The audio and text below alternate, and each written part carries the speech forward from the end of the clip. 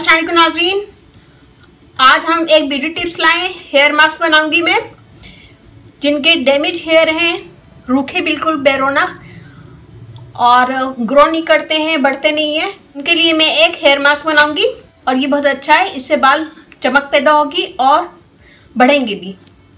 जिनके बिल्कुल बेरोनक बाल होते हैं, बिल्कुल रूखे, उनके लिए ये बहुत अच्छा है।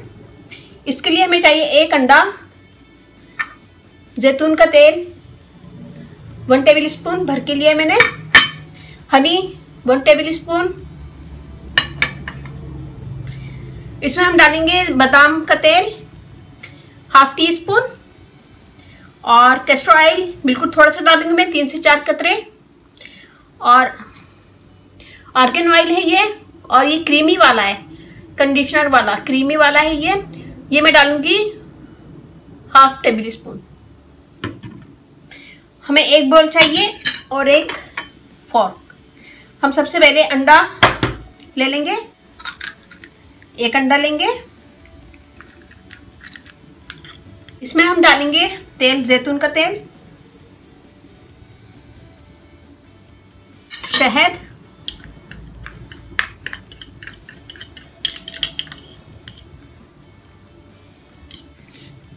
बादाम का तेल।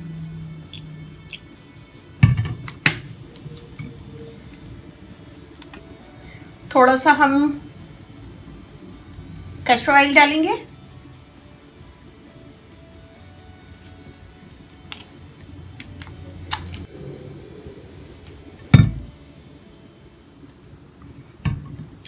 और ऑर्गन ऑयल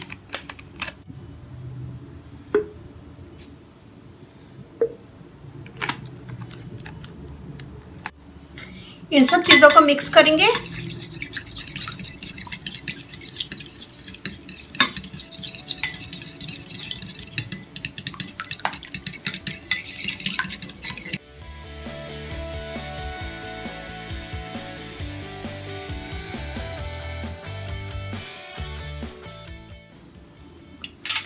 ये देख लीजिए अच्छा से हमने इसको मिक्स कर लिया है। मिक्स करने के बाद इसको पूरे सर पे लगाएँ। Apply to your hair and leave for thirty minute इसको पूरे बालों पे लगाएँ बा, बालों की जड़ों पे भी। और तीस मिनट के लिए इसको छोड़ दें। तीस मिनट के बाद सर धो लें। जो भी शैम्पू करते हैं वो कर लें।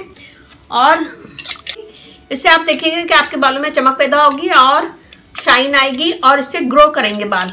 और ये बहुत अच्छा बालों के लिए इंशाल्लाह आपको पसंद आएगी ये टिप मेरी। और अच्छा लगे थम्स अप कीजिएगा कमेंट दीजिएगा, मेरी वीडियो को अपनी फैमिली फ्रेंड में शेयर करें।